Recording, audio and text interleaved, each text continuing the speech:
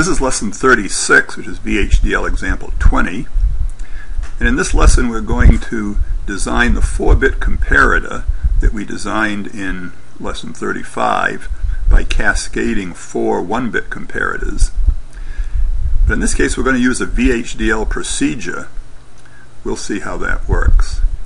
You remember from the last lesson, we designed this 1-bit comparator. We made this truth table and then by using Karnaugh maps you could get these three logic equations for G out, E out, and L out. So we're going to use those to make a one-bit comparator and then instantiate four copies of it. So this is going to be our four-bit comparator, four one-bit comparators. Now, to do this in VHDL, it looks as if a for loop might work.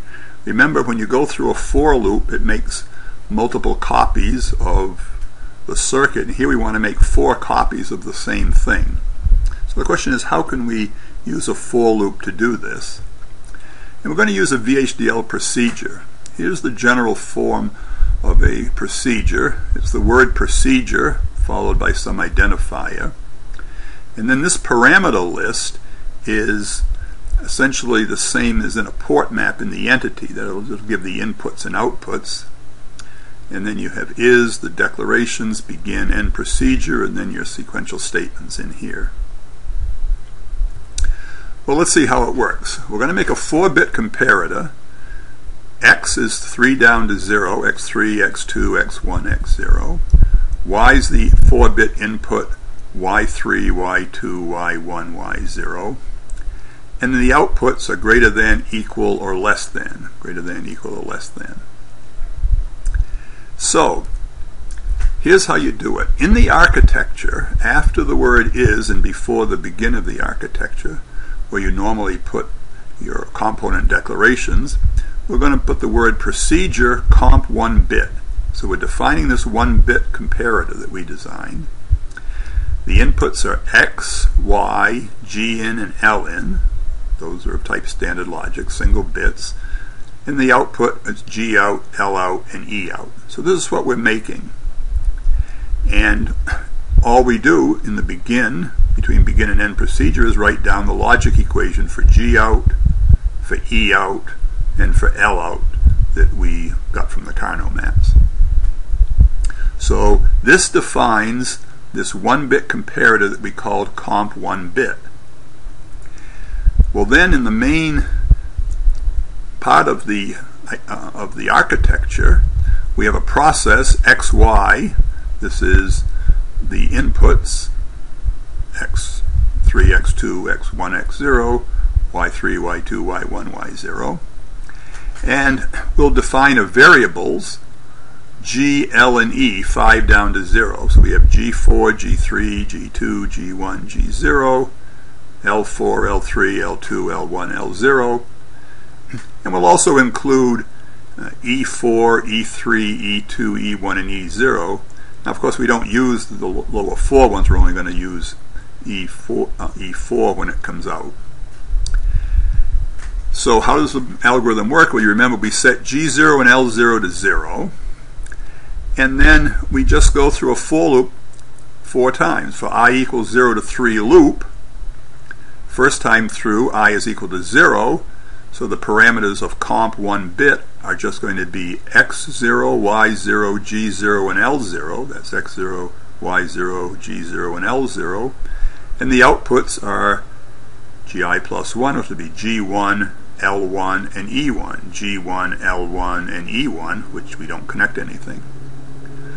We just keep going around the loop. So the first time through we made this component. Next time through, i is equal to 1, so the inputs are x1, y1, g1, and l1, x1, y1, g1, and l1, and the outputs are g2, l2, and e2, g2, l2, and the e2 doesn't get connected. Third time through the loop, i is equal to 2. The inputs are x2, y2, g2, l2, x2, y2, g2, and l2. Outputs g3, l3, and E3. And then the fourth time through, I is equal to 3, So we have X3, Y3, G3, and L3 as inputs, and the outputs are G4, L4, and E4. Well, we've made all four of them now, so greater than is just going to be G4, the equal is the E4, and less than is the L4.